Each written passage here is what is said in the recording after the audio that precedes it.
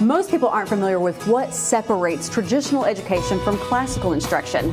Hi everyone, I'm Amber Kanoy, and for Everyday Kentucky, we're at Trinity Christian Academy to learn just about that and their open house coming up. The Trinity is a classical Christian school, which is a unique approach to education. It's got 2,500 years of fantastic educational history behind it. Rooted in the Greco-Roman and Judeo-Christian tradition of the liberal arts and sciences. It is simply, hands down, the best way to educate your kids.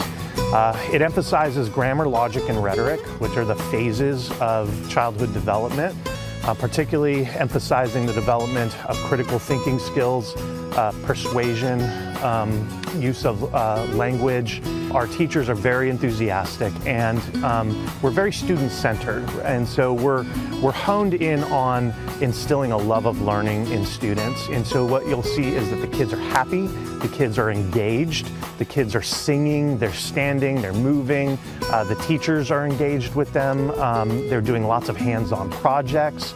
Uh, so you'll see a very lively classroom as opposed to kids just sitting in desks or doing worksheets. Um, and so we think that that's a, a unique approach to education.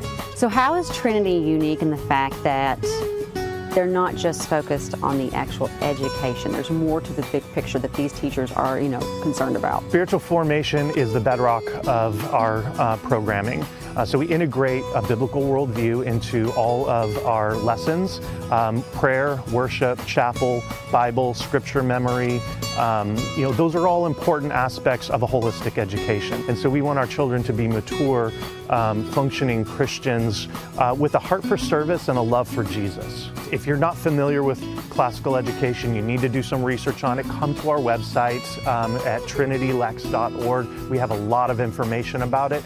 It is, um, it is the best way to educate children. It is rigorous, it is excellent, um, and we feel like um, it is the future of education. And so I would encourage families to go and look um, on our website. Well, it has been a joy visiting Trinity Christian Academy today for Everyday Kentucky. It's a wrap for me, but don't forget to check out their open house.